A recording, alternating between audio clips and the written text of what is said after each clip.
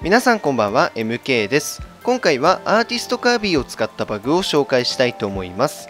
まず準備としてアーティストカービィになったらフレンズを3人連れてきてフルーティーフォレストのステージに来てください。そしたら早速やっていきましょう。はい今回は説明しやすいのでこちらのフルーティーフォレストというステージでやりますがこのバグは全ステージでできるのでぜひいろんなところで試してみてください。そして今回のバグに使うのがこの無敵キャンディーですね。この無敵キャンディーを味方に口移ししている時に絵を描くとバグるんですね。それではやっていきましょう。まず絵を描く方法なんですが下 B を押すとこのように小さい絵が描けます。そして上ボタンを押すとこのように大きな絵が描けるんですがこれは途中でキャンセルできるんですね。このキャンセルと無敵キャンディーを口移しするタイミングをうまく合わせましょう。それではやっていきます。はい無敵キャンディーを取って口移ししながら上ボタンを連打。そうするとこのようにあるタイミングで絵が残るんですね。でこれは絵が残ったまま走ったりとかジャンプしたりできます。なぜかね書き終えてるはずなんですけど食べ物が出てくる感じではないんですよね。この冷蔵庫を書き終わると普通は食べ物が出てきて消えてしまうんですがなぜか残ってます。はい。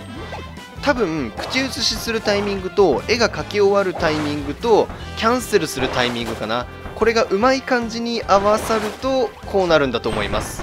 ちょっとなんでかは全然わかんないんですけどね。でこれはこのように下 B を押すと小さい絵はプラスで書けるんですね。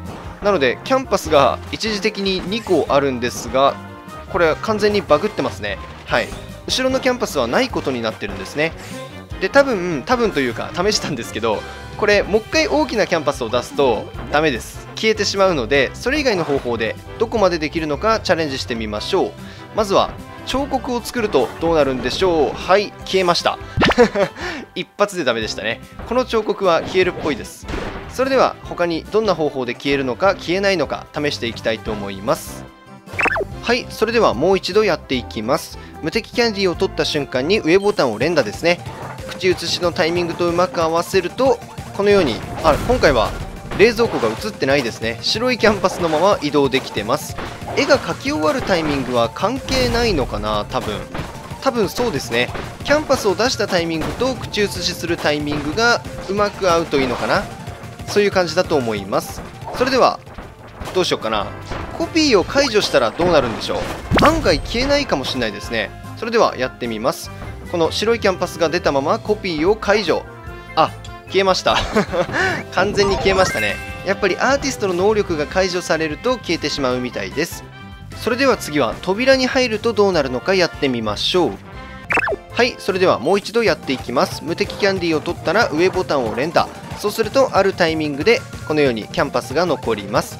これ本当に慣れると簡単ですし口移しさえできれば無敵キャンディーじゃなくてもできるのでぜひいろんなところでやってみてください。扉をくぐるとどうだろうな。さすがに消えるのかな。プラズマとかって貯めた後に扉くぐると消えるんでしたっけ？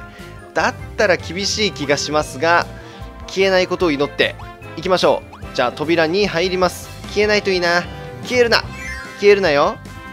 消えるなよ。お願いだから消えるな。これ消えなかったら結構面白いんですが消えましたね。結構簡単に消えましたね。やっぱりそっか。あれはバグってますもんね完全に。マップ切り替えるとそうなるか。ということで今回はアーティストカービィを使ったバグを紹介しました。結構ねカービィのバグは少ないとは思うんですけど見つけ次第いろいろ紹介していきたいと思うのでぜひチャンネル登録もよろしくお願いします。ということでまた次の動画でお会いしましょう。さよなら。